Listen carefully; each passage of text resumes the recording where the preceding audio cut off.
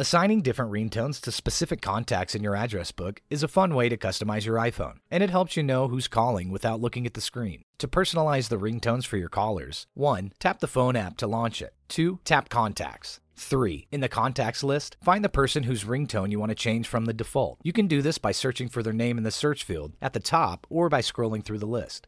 Number 4. When you found the person, tap their name to open their contact information.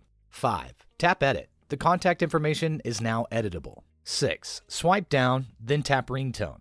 7. The list of ringtones available on your iPhone is displayed. This includes the iPhone's built in ringtones and alert tones, as well as any ringtones you've created and ringtones you bought from Apple. Tap a ringtone to hear a preview. Number 8. Tap the ringtone you want to assign to that person to place a check mark next to it. Then select Done to return to the Contacts Edit screen. The name of the ringtone you chose is displayed next to the ringtone.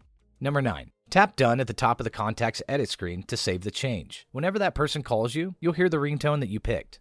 Another cool thing you can do is change the vibration pattern for your iPhone contacts as well. If your phone is set to vibrate instead of ring for incoming calls, you can customize each contact's vibration pattern. This tells you who's calling even if the ringer's turned off. The vibration option is on the same screen as the ringtones. To change a contact's vibration setting, 1. Go to the ringtone screen. See steps 1 through 6 above. Number 2. Tap vibration to display the set of vibration patterns that come on the iPhone. Number 2. Tap vibration to display a set of vibration patterns that come on the iPhone. Number 3. Tap one of the vibrations to feel a preview. When you find the one that you want to use, tap it to put a check mark next to it. Number 4. Tap ringtone. Number 5. Tap done to return to the contacts editing screen. And number 6. The chosen vibration is listed next to the ringtone, along with the ringtone the iPhone uses when the vibration is turned off. Tap done to save the change. We hope you guys enjoyed this quick tip, and we'd like to finish things off with some Jetpack Joyride 2. So, let's run it.